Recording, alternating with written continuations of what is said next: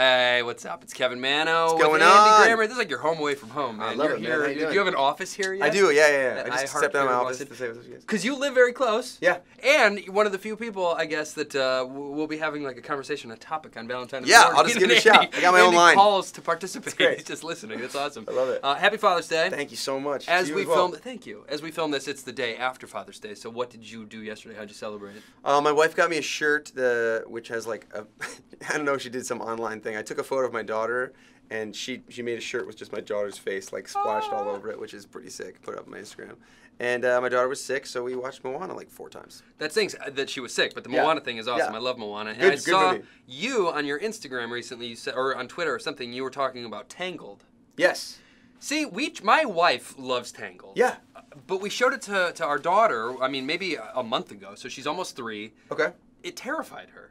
We got to the end of the movie, and I was like, "Babe, how'd you like the movie?" She's like, "There was bad stuff." How it." did she feel about Frozen? She loves Frozen. Really? Yes. No, no fear from the snowman in Frozen. No, she she likes the snow monster and she likes the lava monster or whatever Incredible. in uh, in Moana. I I threw up on my Instagram like Tangled's better than Frozen. Like go. That's that's a bold statement. and there was a lot of intensity, uh, but I stand by it. I think don't even like, know what it was. I think it was like the guy getting stabbed, Yeah. or the fact that the woman stole the little kid. Like something bothered her She didn't like psychologically. She didn't ya. care for that. Yeah.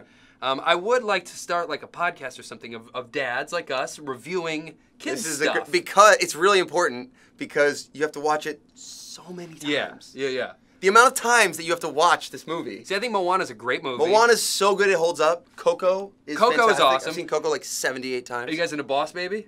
No, I haven't seen Oh Baby. my god, Is Boss, it good? Boss Baby is genuinely a good movie. Okay. Like it's the story is solid, beginning to end. Dude, It's a great- honestly, I think we've movie. stumbled onto something really good. I, I like this Yeah, idea. This is a good idea. Uh, and then what about Frozen 2? Have you seen the trailer? I'm excited. This It is looks, the thing. Doesn't it look I'm gonna have dark? to watch it. I'm gonna have to watch it eighty thousand times. So I like when the trailer came out, me and my wife were like, "This is exciting." Our intention was for that to be the first movie we would take Molly to in the theater, yeah.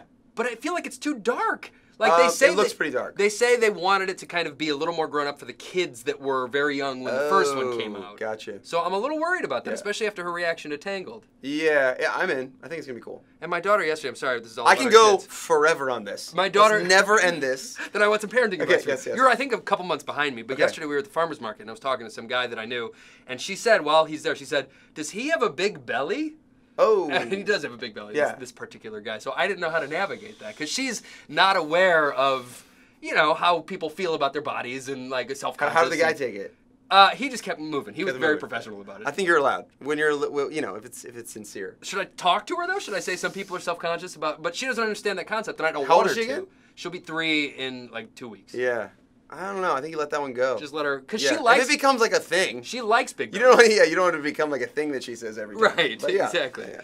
Uh, and I saw your poem. Speaking of dads and Father's Day and stuff, you're uh, you put it on your Instagram. Oh, you said you've been doing it at shows. I thought that was awesome. Yeah, it's really cool, And man. it told me a lot about your dad. Yeah, my dad's incredible. My dad's a children's singer, Red Oh, Grammer, is. Grammy-nominated children's singer, and just a sweet, sweet guy. Okay, so is that what he was doing when you were a kid? Yeah, like I grew Is up- that how he paid the bills? He and paid stuff? the bills. I grew up watching him go to uh, different like performing festivals and doing kids shows. They were called Red Days. My dad's name is Red Grammer. So uh, all the kids would wear red and learn all the songs, and I would Mhm. show. I would be around it, and it's like how I learned to see how you can be an artist that that's pays for your family. That Yeah, way. that's awesome. So uh, was he always supportive when you were, you know, Santa Monica busking? Yeah, yeah. They both my mom and my dad were both like, "Of course you can do it. Go for it." Yeah. yeah. Which is amazing, honestly. A lot of a lot of people have to break through that barrier of like believing in themselves. Mm-hmm, totally. you know, if their parents are like lawyers or something, they feel like they don't understand it. Yeah. My family was like, "Yeah, I mean, I, I made my money being a kid singer." Well, how was uh, what you know? Not to get too personal or anything, but were you guys doing okay as a kid, or you know? we we were fine. It was like totally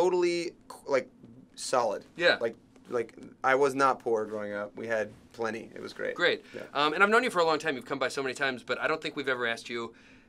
You are related to Kelsey Grammer. I am, right? What's the relation there? I don't. I've so my actually. dad's gr- grandfather, his brother, my dad, there, yeah, Kelsey's grandfather and my da- my dad's grandfather were brothers.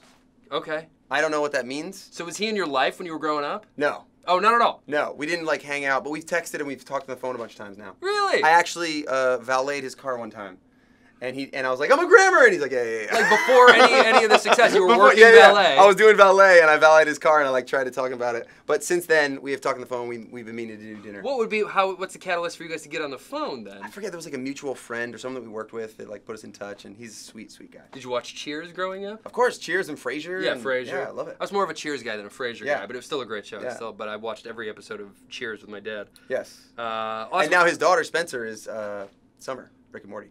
Do you follow? Oh and Morty? no, I don't. So I feel like I cool. showed a lot of people that I Dude, you respect. have to. It is the best. Like I'm a big Run the Jewels fan, Yeah, yeah, and I yeah. know Rick and Morty is very in the hip It's hop so world. good, and- dude. So good. Okay, I'll take your uh, recommendation, but you're not watching it with your daughter. Oh no, no. Actually, funny enough, I got into it. What, right when we brought her home from the hospital and she'd stay up all night, I'd watch Rick and Morty while I was like. Oh rocking yeah, her to sleep. that's Yeah, yeah, awesome.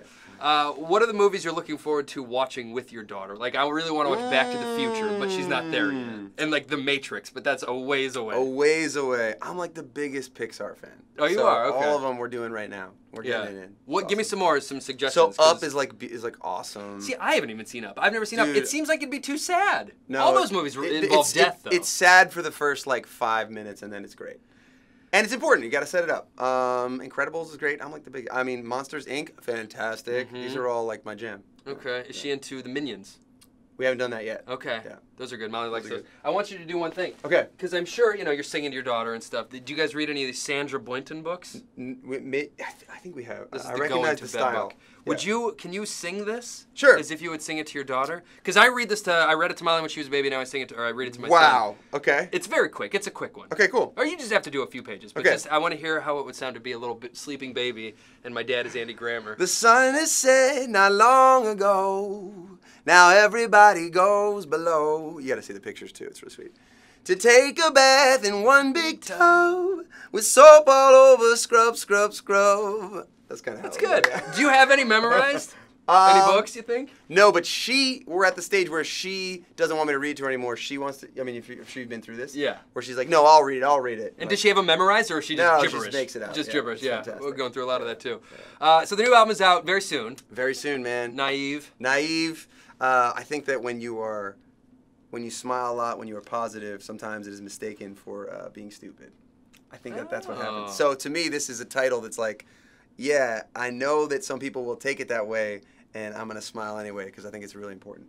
That's interesting. Where do you uh, get that life lesson from? Because you're a very smiley guy. Yeah, I'm a smiley guy, and I've been just like I'm always I've been positive my whole life, and I can Mhm. sometimes tell that, like when you s- when you're when you're too bright, sometimes people are like, don't you get the the world is like really dark? Mhm. Why are you so bright? You must not know.